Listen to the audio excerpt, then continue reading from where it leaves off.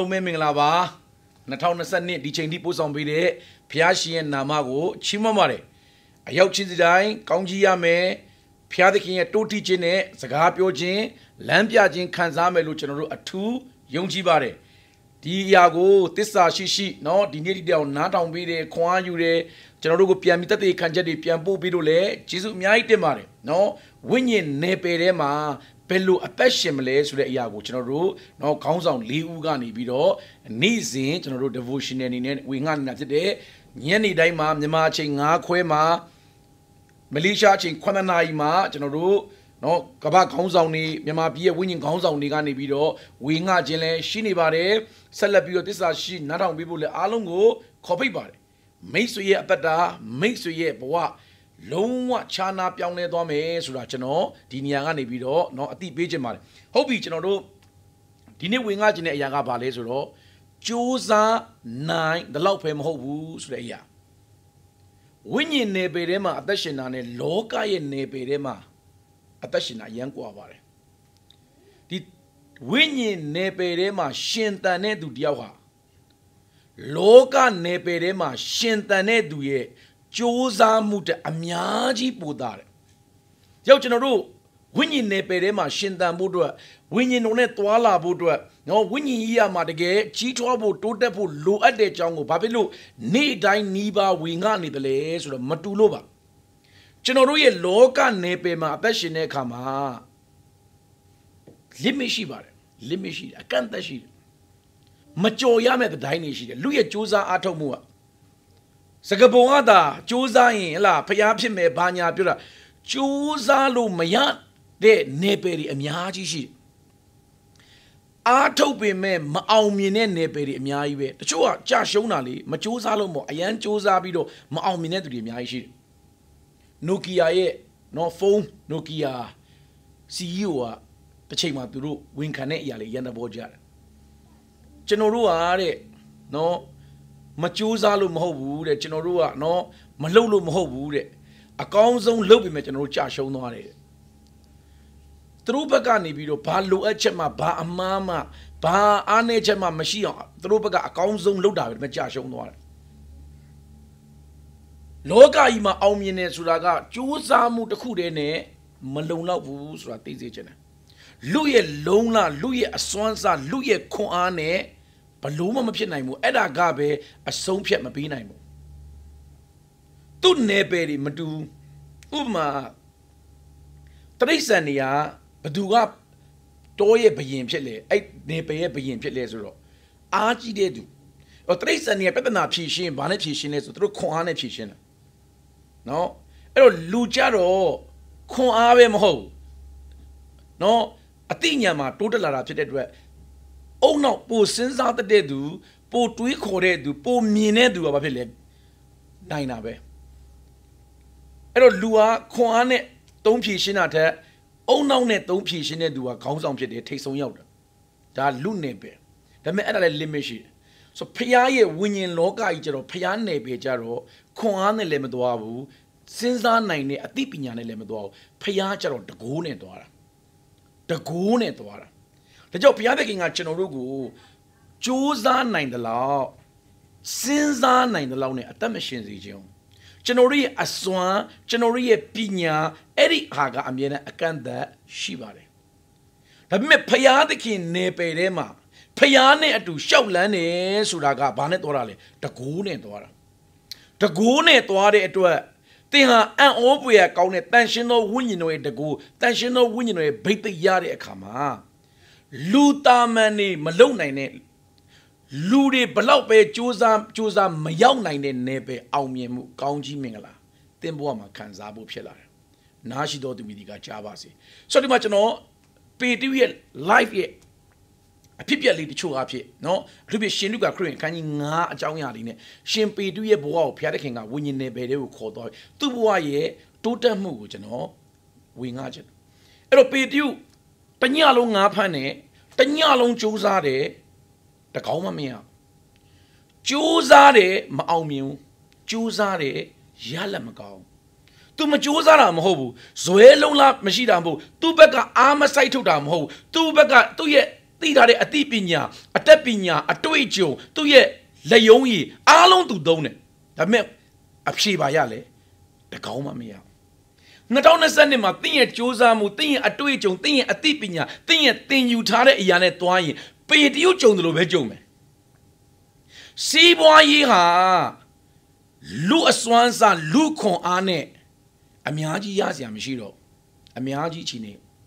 ကောင်းဖို့မရှိတော့လောကကြီးထဲမှာအောင်မြင်မှုတိုးတက်မှုဆိုတာအထူးသဖြင့်ဒီ2020ကနေစပြီးနောက်ပိုင်းမှာအရေးကြီးပါတယ် လူစ조사မှုတစ်ခုတည်းနဲ့ကျွန်တော်တို့ရောက်ချင်တဲ့နယ်ပယ်ကိုရောက်မှာမဟုတ်ကျွန်တော်တို့ရချင်တဲ့ရလက်ကိုရမှာမဟုတ်အဲ့ဒီအောင်ကြော်ဖို့မပြောနဲ့ရှင်တန်ဖို့တော့မနဲ့ကြိုးစားလိမ့်မယ်အဲ့တော့ပေတီချီကုန်လက်ပန်းကြလူဆိုတာအမြဲတမ်းဟလာ limit ရှိပါတယ်တညလုံးကြိုးစားတယ်မိုးလင်းတော့ तू မခံနိုင်တော့အဲ့တော့ तू ဘာလို့လဲတခါတည်းဆေးပြီးတော့အိမ်ပြန်တော့မယ် तू သွားအိတ်တော့မယ် तू လက်လျှော့ရှုံးပြီးတော့မယ်အဲ့ဒီချိန်ရောက်လာတယ်အဲ့ဒီမှာအပြစ်လာလဲယေရှုခရစ်တော်ရောက်လာတယ် ် ယေရှုကအရင်ဆုံးဘာလုပ်ခိုင်းလဲဆိုတော့ပေတရုကိုလှေကိုအတုံးပြုတ်ခွင့်တောင်းတယ်အဲ့တော့ပေတရုကအကြောင်းပြချက်ရှိတာကျွန်တော်ကျန်ညာလုံးပင်မနဲ့ကျွန်တော်အိမ်ပြန်ရင်နားတော့မယ်ကျွန်တော်ပင်မနေပြီလို့ပြောရင်ရပါတယ်ဒါပေမဲ့ပေတရုကလည်း yes လို့ပြောလိုက်တယ်အဲ့တော့ဘုရားသခင်ကမှတ်သားညီကိုမောင်မတွေကျွန်တော်တို့ရှီကအမြဲတမ်းဘာတောင်းတယ်ကျွန်တော်တို့ရှီကသဘောတူမှုတောင်းတယ် တင်းရဲ့အသက်တာကိုသုံးခြင်းနဲ့သဘောတူမှုတောင်းတယ်တင်းကဟုတ်ကဲ့ကိုတော့သုံးပါလို့မပြောမချင်းဘုရားသခင်တင်းကိုမသုံးသုံးလို့လည်းမရဘူးနောက်တစ်ခါဘုရားသခင်ကတင်းရဲ့ agreement တင်းရဲ့သဘောတူမှုကိုတောင်းတယ်တင်းကဟုတ်ကဲ့ပါလို့ပြောတဲ့အထိဘုရားစောင့်တယ်တခါပလီဘာလို့ကြန့်ကြာတယ်လဲဆိုတော့ကျွန်တော်တို့တက်တာမှာဟုတ်ကဲ့ပါလို့ပြောလို့ကြာနေတာကျွန်တော်တို့ကြာတာဖះကြာတာမဟုတ်တချို့သောသူတွေဖះသခင်ကိုကိုလှုပ်ခိုင်းစေချင်တာရှိတယ်ဆိုတာသိတယ် ဖះသခင်ကိုကိုနိုးစော်တဲ့အရာရှိတယ်ဒါပေမဲ့ဟုတ်ကဲ့ပါကိုတော်လို့ပြောဖို့ကြန့်ကြာနေတယ်ဖះကြာတာမဟုတ်ဖះသခင်ကကျွန်တော်တို့ညံကျင်တာတက်ပုံညံကျင်တယ်အဲ့တော့ဒါပေမဲ့ဖះသခင်ကဘု து ကိုစောက်လဲလူကိုစောက်မာရိကိုဝင်ဆောင်ဖို့အတွက်မာရိကိုဘာလို့လဲခွင့်ပြုချက်တောင်းတယ်အငါဟလာကိုဝင်ဆောင်ဖို့အတွက်သားတော်ယေရှုလာမယ်မင်းရဲ့ဝမ်းကိုသုံးမယ် အဲ့ဒီကမှာမာရိပါလဲဟုတ်ကဲ့ပါလို့ပြောတယ်နာခံတဲ့အခါမှာသဘောတူတဲ့အခါမှာကိုဝင်စားရှိတယ်အဲ့တော့ကျွန်တော်2020နှစ်မှာတဘာဝလွန်နယ်ပယ်တွေကိုသွားခြင်းနေဆိုရင်ဖခင်ကျွန်တော်တို့ပြောမှာပြောတဲ့အရာကိုကျွန်တော်တို့ကဘာလုပ်ဖို့လို့လဲဟုတ်ကဲ့ပါ yes လုပ်ဖို့လို့လဲစိတ်နှလုံးလေးကနေဟုတ်ကဲ့ကိုတော့ကိုတော့သုံးပါပေတုလှေကိုပေးသုံးလိုက်ဟုတ်ကဲ့ကိုတော့သုံးကိုတော့သုံးဆိုတော့ယေရှုကလှေပေါ်ရောက်တာနဲ့မပြီးဘူး တခါတလေကျွန်တော်တို့ကတစ်ခုလေးပေးလိုက်ရင်တစ်ခုလေးနာခံလိုက်ရင်ဇလန်းပြတ်သွားပြီလို့ထင်တဲ့သူတွေအများကြီးရှိတယ်။ဟာငါနာခံတာပဲပြီးပြီပေါ့မဟုတ်ဝိညာဉ်လောကဆိုတာမှတ်တာကျွန်တော်တို့တစ်ခုခြေလန်းလန်းပြီးဝိုင်းနောက်တစ်လန်းရှိသေးတယ်။ဖျားသခင်ကတင့်ကိုဥဆောင်ခြင်းတာဖျားသခင်ကတင့်ကိုခေါ်သွားခြင်းတဲ့နယ်ပယ်မှတ်တာတစ်ခုနာခံပြီးရင်နောက်တစ်ခု touch ပေါ်လာလိမ့်မယ်။နောက်တစ်ခုနာခံပြီးနောက်တစ်ခုပေါ်အဲ့ဖျားသခင်ကလှေကိုလည်းအသုံးပြုခွင့်ပြုပါဘလဲ။ကန်းကနေခွာဖို့အတွက်အခွင့်တောင်းတယ် ခွာစီခြင်းကခွင့်တောင်းတယ်အဲ့တော့ပေတိလေကိုပဲပေးသုံးတာမဟုတ်ဘူးဘာလို့ကလဲကန်းကနေခွာဖို့ပါဟုတ်ကဲ့ကိုတော့သူ့ကိုဖျားတဲ့ခင်ကနောက် level တခုကိုခေါ်သွားတာအဲ့သူခွာတယ်အဲ့မှာနှုတ်ကပတ်တော်ဟောတယ်နိုင်ငံတော်နဲ့ရှင်တဲ့အေဝံတရားဟောတယ်ကြီးမြတ်တဲ့ဖျားသခင်အကြောင်းပြောတယ်အဲ့တော့သူ့လေအသုံးပြုထားတဲ့အတွက်ပေတုလည်းဘာဖြစ်နေရလဲနားထောင်နေရတယ်ကျွန်တော်ဖတ်တာပါညီကောင်မောင်နှမတွေကျွန်တော်တို့ရဲ့အသက်တာဖျားကိုအသုံးပြုခွင့်ပေးပြီးတဲ့အခါမှာ ဖျားစကားကိုကျွန်တော်ကြားခွင့်ရလိမ့်မယ်ပေတရုသာလှေသုံးပြုခွင့်မပေးဘူးဆိုရင်ပေတရုနှုတ်ကတော့ကြားခွင့်ရမှာမဟုတ်ဘူးပြန်တော့မှာဒါပေမဲ့လှေသုံးပြုခွင့်ပေးတဲ့အတွက်သူကအနီးကကြားခွင့်ရတဲ့သူဖြစ်လာတယ်နားထောင်ခြင်းဟာဖျားနဲ့ပုံနီးကပ်ဖို့အတွက်အခွင့်အရေးဖြစ်လာတယ်ဝိညာဉ်နယ်ပယ်ထဲမှာဆက်လျှောက်လန်းဖို့အတွက်အခွင့်အရေးဖြစ်လာတယ်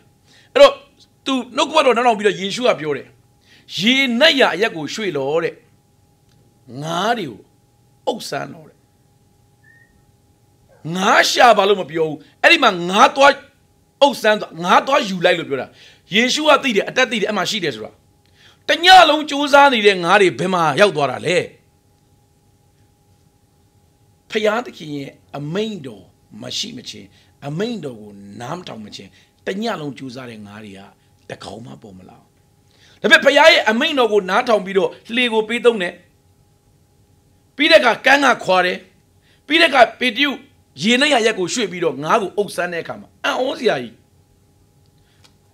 သူတဘဝလုံးအစွမ်းစားနဲ့မရခဲ့ဘူးတဲ့ဟာသူ့ပညာသူ့ရဲ့အတွေးခေါ်သူ့ရဲ့စ조사မှုသူ့ရဲ့တော့လှုပ်ဆောင်နိုင်မှုအဲ့ဒီပတ်ဝန်းကျင်မှာကျွန်တော်ယုံကြည်တယ်ပြပြမယ်အဲ့ဒီပတ်ဝန်းကျင်မှာဘယ်သူမှမရဘူးတဲ့ငါးပမာဏမိနစ်ပိုင်းစက္ကန့်ပိုင်းတွေမှာအဝေါ်စရာရလာလှေတစ်စင်းတော့မဟုတ်လှေနှစ်စင်းလှေနှစ်စင်း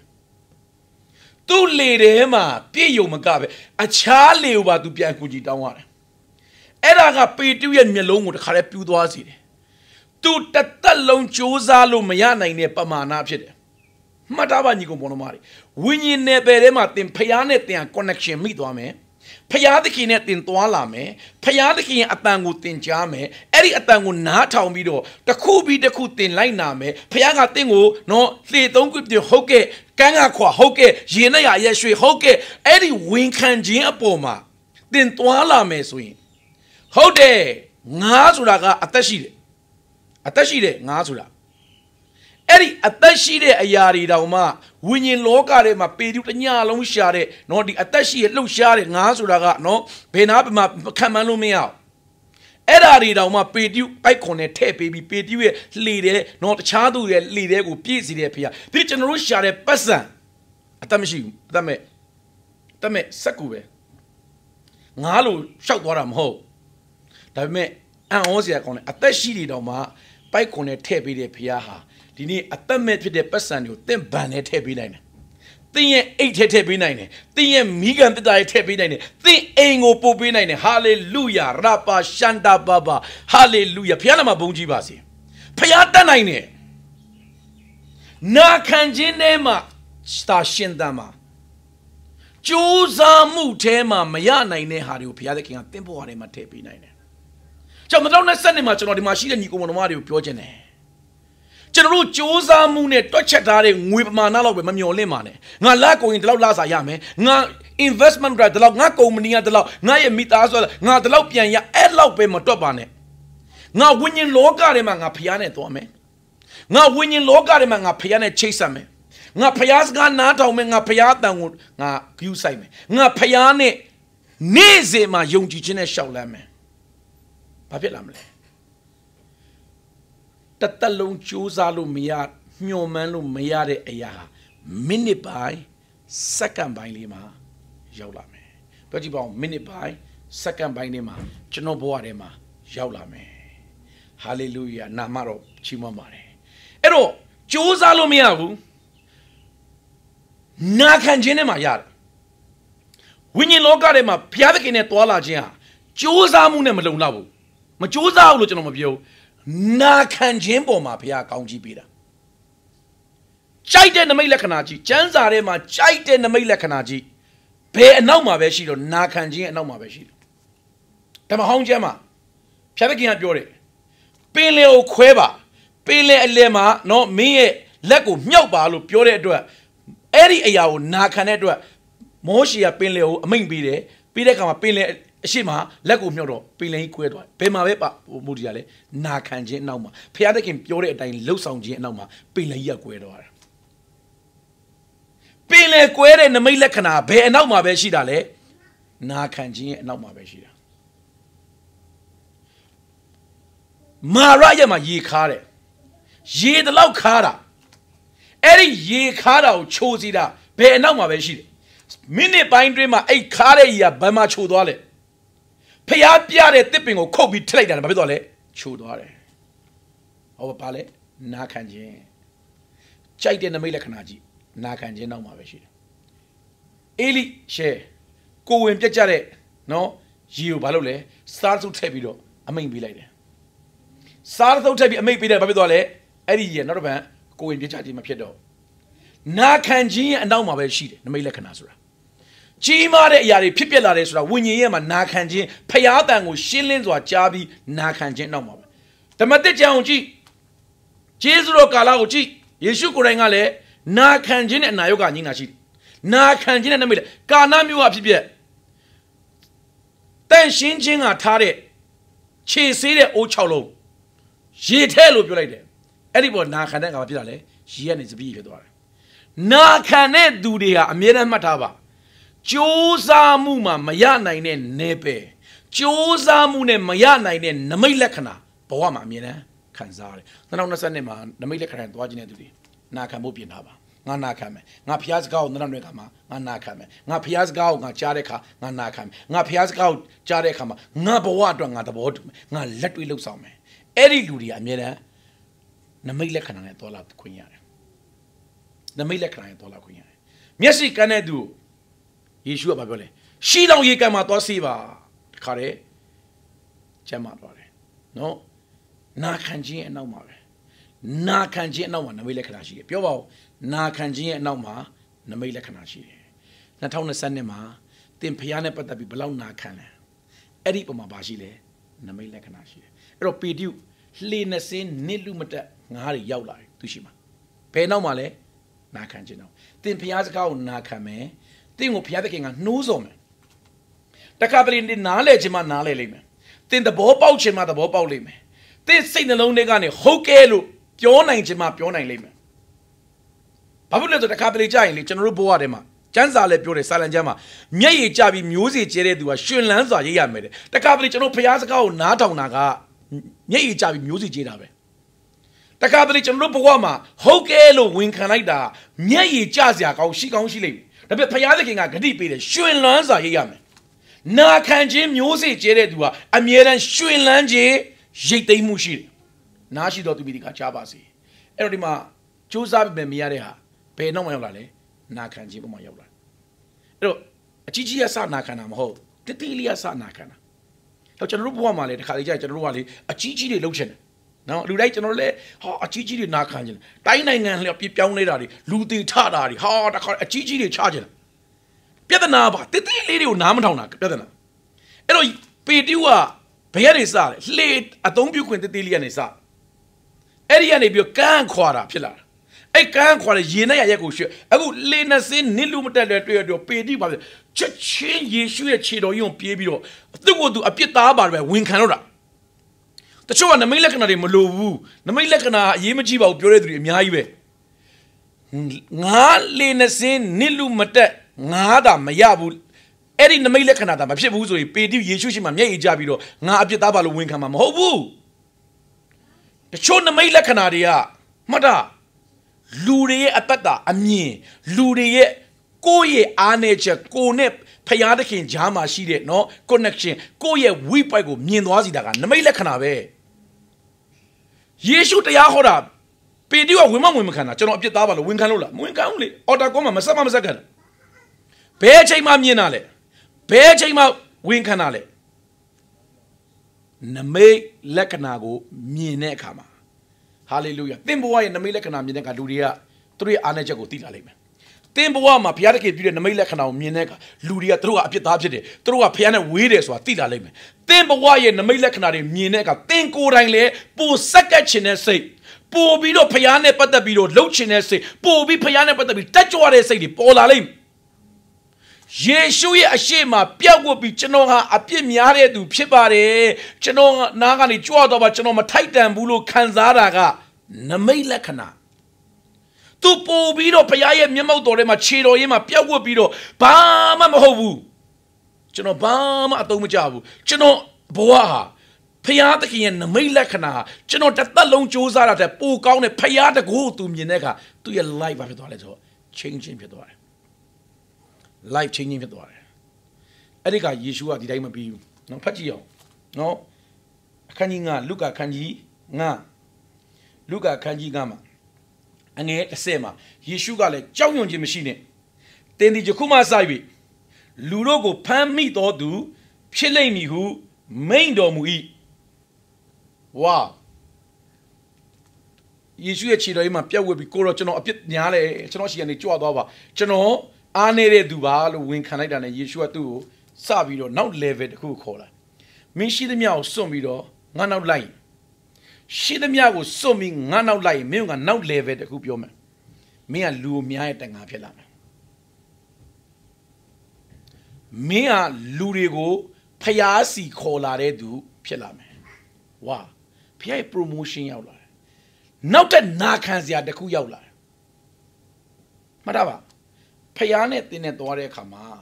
2021ကကျွန်တော်အများကြီးနာခံခဲ့တယ်ဟုတ်တယ် 2021ကအနာခံခဲ့အတွက်2022မှာနောက်နာခံစရာဖျားတဲ့ကနောက် level နာခံခြင်းနဲ့အဲ့ဒီနာခံခြင်းပုံမှာထပ်ပြုမဲ့နမိတ်လက္ခဏာရှင်တွဲလိုက်လာတိတိလေးနာခံတော့တိတိလေးနမိတ်လက္ခဏာရှိတယ်အဲ့တက်ပိုနာခံတဲ့အတွက်ပိုကြီးတဲ့နမိတ်လက္ခဏာရှိတယ်အဲ့အတွက်ပိုပြီးနာခံတဲ့အတွက်ပိုပြီးတော့ဖျားတဲ့ကပြုတဲ့အမှုကိုမြင်ရမယ်ဟိုဖျားတဲ့ကသူ့ဘာပြောလဲဆိုတော့အဲ့ဒီလှေနှစင်းနစ်လူမတက်ငားတွေကို ထားခဲ့လိုက်စမ်းပါရှိသမျှကိုဘာလို့လဲစွန့်လိုက်စမ်းပါအခုနမရှိခင်မှာခေါ်ရင်လိုက်ဖို့လွယ်တယ်အခုနမိတ်လက္ခဏာပေတိဘာဖြစ်စေလဲရှိစီဒါပေမဲ့အဲ့ဒီရှိစီတဲ့ငါလှေနေစင်းနစ်လူမတက်ဟာပေတိရဲ့ final destiny မဟုတ်နောက်ဆုံးပန်းတိုင်မို့နောက်ဆုံးဘူတာမဟုတ်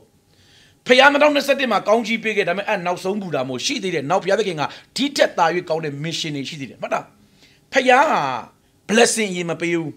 mission ရင်ပေးတယ်အဲ့ဒီ mission ဘုရားသခင်ပေးတဲ့ mission ရောက်လာပြီဆိုရင်အဲ့ mission ကိုနာခံခြင်းအပြင်အဲ့ဒီပုံမှာကြီးမားတဲ့ blessing ရောက်လာတယ်ကြီးမားတဲ့ mission ဟာကြီးမားတဲ့ blessing ကိုတည်လာတယ်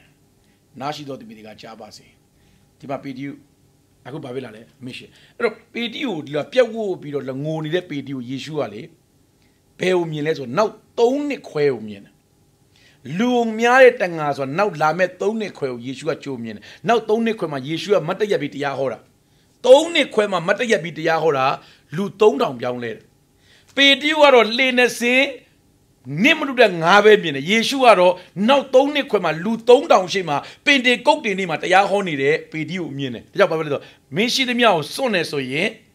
မင်းရှိသမျှကိုထားခဲ့တယ်ဆိုရင်မင်းကလူကိုများတဲ့တန်ငါ ဖြစ်လာမယ်နောက်3နှစ်ခွဲမှာပေတရုကလူ3000ရှိမှတရားဟောတယ်လူ4000ရှိမှတရားဟောတယ်မြို့လုံးကျွတ်ပြောင်းလဲတဲ့ပေတရုအရေးထိတာနဲ့ပြောင်းလဲတဲ့ပေတရုဖြစ်လာတယ်အနာဂတ်မှာယေရှုကအဲ့ဒါကိုမြင်လို့ပြောတယ်မင်းဟာလူကိုမြားတဲ့တန်ငါဖြစ်တယ်မြို့ငါငါပဲပေးတဲ့ဘဝကနေဘာပေးမှလဲလူတွေကိုပေးတော့မှာပိုတန်ဖိုးရှိတာပေးမှာဖေဟာ ပိုနာခံတယ်ဆိုရင်ပိုတန်ဖိုးရှိတာပေးမှာကြောက်ကျွန်တော်တို့က2020မှာပိုတန်ဖိုးရှိတဲ့အရာတွေရောက်ဖို့တော့ကျွန်တော်တို့ကဘာဆုံးဖြတ်ဖို့လို့ဆိုငါပိုနာခံမယ်ငါဖျားနဲ့ပတ်သက်တဲ့နိယာမတွေကိုငါပူနာခံမယ်ငါဖျားနဲ့ပတ်သက်ပြီးငါကြားတဲ့အတန်ငါနားထောင်မယ်ဝိညာဉ်ခေါင်းဆောင်ရဲ့စကားကိုငါပူနားထောင်မယ်ငါပူကောင်းတဲ့အရာပူတန်ဖို့ရှိတဲ့အရာဖျားပေးမယ်လှေနဲ့စင်းနစ်လူမတက်ပေးတဲ့ဖျားငါးတွေပေးတဲ့ဖျားဟာ ပီဒီယို live ထဲမှာဗာပေးလဲဆိုတော့ပိုတန်ဖို့ရှိပျောက်ဆုံးဝိညာဉ်တစ်ပါးတော်မှာစက်ကြောက်ရတဲ့ခရုနဲ့တန်ဖို့ရှိဝိညာဉ်တစ်ပါးတော်ဒါဆိုရင်ဝိညာဉ်ပေါင်းတန်ပေါင်းများစွာဖျားတဲ့ခင်ကပီဒီယို live ထဲမှာပေးမှာကျန်တဲ့ရွှေငွေတွေပြောမနေနဲ့လူကိုပေးတယ်ဆိုရင်ကျန်တဲ့ဟာပြောမနေနဲ့နားရှိတော်သူမိတွေကကြားပါစေဖျားမျက်စိမှာတန်ဖိုးရှိဆုံးရွှေမဟုတ်ဘူးငွေမဟုတ်ဘူးဖျားမျက်စိမှာတန်ဖိုးရှိဆုံးကြောက်တံပရံများတွေမဟုတ်ဖျားမျက်စိမှာတန်ဖိုးရှိတဲ့အိမ်ကြီးခြံနေမဟုတ်ဖျား မျက်စိမှာတန်ဖိုးရှိဆုံးကလူလူဝိညာဉ်တန်ဖိုးရှိဆုံးလူဝိညာဉ်တော်ဘုရားသခင်ကပေတျုလက်ထက်မှာအပ်တယ်ဆိုရင်ကျန်တဲ့ဟာမအပ်ပဲမနေဘူးနားရှိတော်သူမိကကြားပါတော့2020မှာတန်ဖိုးရှိတဲ့ຢာကြီးတင်ပွားရရောက်လာဖို့အတွက်ပို့ပြီးတော့ဖះစကားကိုတန်ဖိုးထားပြီးတော့နားထောင်တဲ့သူဖြစ်ရအောင်เนาะကျွန်တော်ဒီနေ့ခွန်အားပေးခြင်းနဲ့ပိုနားထောင်လေပိုတန်ဖိုးရှိတဲ့ခါတင်ပိုးအောင်ရောက်လာလေပိုနားထောင်လေဖះကဝိညာဉ်လောကထဲမှာပိုဆွဲခေါ်လေပဲ ကျွန်တော်ဝိညာဉ်လောကထဲမှာပိုဆွဲခေါ်တာလိုချင်တယ်မဲ့ခတ်တာဖះသခင်စကားကိုပိုနားမထောင်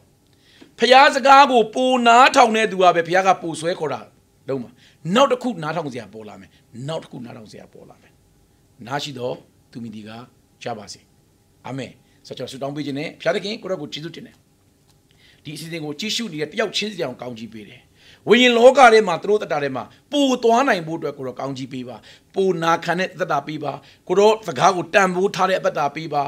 နာခံလိုက်လျှောက်ခြင်းတတာပေးပါဖခင်စကားကိုတကယ်အလေးထားတဲ့သူဖြစ်စေတော်မူပါဝိညာဉ်လောကထဲမှာနဲ့နေတဲ့ဖခင်သခင်ရဲ့အံ့ဩပွေရာကောင်းတဲ့ဖခင်စကားကိုကြားတတ်မြင်တတ် လေလာလိုက်စားစာငတ်တဲ့အပတ်တာကိုတော့ပေးပါယေရှုနာမနဲ့ကောင်းကြီးပေးပါတယ်ယေရှုနာမနဲ့ဘုရားတကူတော်ဆေလွတ်ပါတယ်ကြိုးစားမှုနဲ့မရနိုင်တဲ့ဟာဘုရားတကူတော်အဖြစ်သူတို့ကလှုပ်ဆောင်နေတဲ့သူဖြစ်ပါစေအကန့်အသတ်မဲ့နေပယ်တွေကိုတော့ခေါ်သွားပါအကန့်အသတ်မဲ့ကောင်းကြီးမင်္ဂလာခံစားဖို့ဖြစ်စေပါအကန့်အသတ်မဲ့ဖရာတကူတော်ရဲ့စီမျောခြင်းနဲ့မှာတွာလာတတ်တဲ့သူဖြစ်စေပါယေရှုနာမနဲ့ကောင်းကြီးပေးလေဆုတောင်းပါ၏ဖအာမင်အာမင်ရောက်ချစ်တဲ့ဘုရားကောင်းကြီးပေးပါစေ